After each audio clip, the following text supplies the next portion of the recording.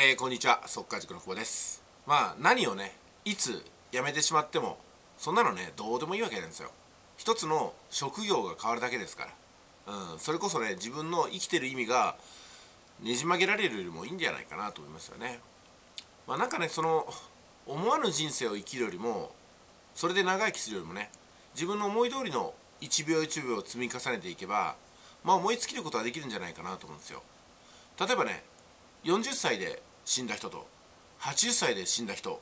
どっちが幸せですかって聞かれてそれだけじゃ分かんないですよね。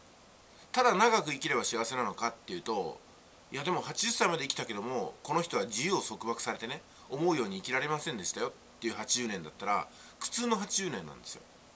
でも何もかも思い通りにやって最後はあ思いっきりね自分の思い通りに例えば宇宙に行ってえー、ああすごい宇宙ってこんな美しいんだわーってなくなったみたいなね。最後の瞬間までハッピーだった。そんな40年だったらどうかなというふうに思っちゃうわけですよね。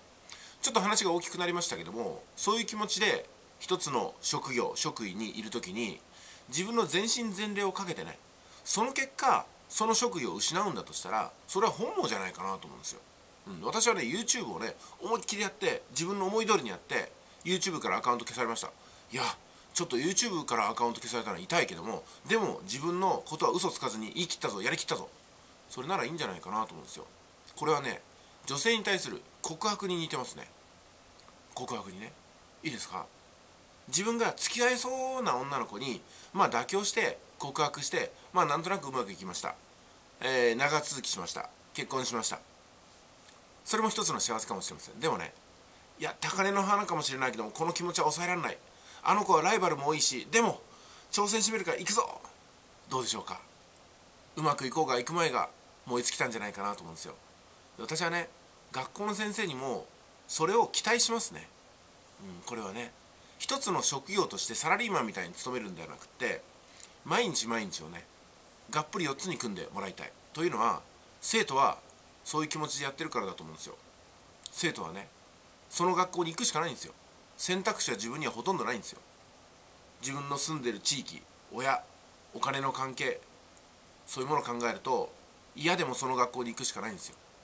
じゃあその学校でね全身全霊でぶつかってくれるような先生がいなかったらどうするんですかってことになりますよね。たった一人でいいんですよ。自分の味方になってくれる人。自分のことを心の底まで覆すぐらいね寄り添ってくれる先生がたった一人でいい。それはね担任でなくてもいいんですよ。体育教師でもいいし保健の先生でもいいし教頭先生でもいいんですよ。用務員のおじさんでもいいんですよ。そういう人がいつも自分を見てくれた。そうなんですよね。どんなにいじめられてもどんなに惨めでもたった一人が横にいるだけで救われるわけなんですよね。そのたった一人に先生は慣れていますか？ってことだと思うんですよ。大変だと思いますけどね。そのたった一人に何人もの生徒に対してなれるかどうかってことですからね。私は是非ね金八先生をシリーズ1から見てそして金八先生の完結編まで見てそれから教職課程ってのを、まあ、受験してほしいなと思うわけですよね。やっぱり、ね、原点は金八先生ですよ。金八先生それからねそうだなルーキーズでもいいかな。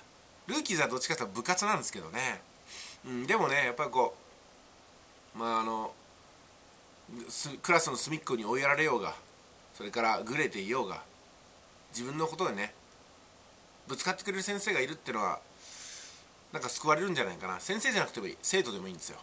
うん。だからたった一人を見つけれるかってこと。これですよね。でもう一つはね花井涼子さんもそうですけどもたった一人のそういう人になれるかってことなんですよね。誰かのたった一人になれるかってことですよね。誰かのたった一人に。なれるか。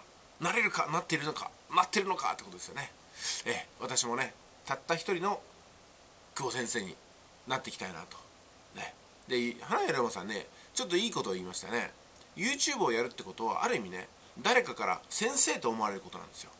だから花屋先生と呼ばれる日がもしかしたらもうあるのかもしれないですね、うん。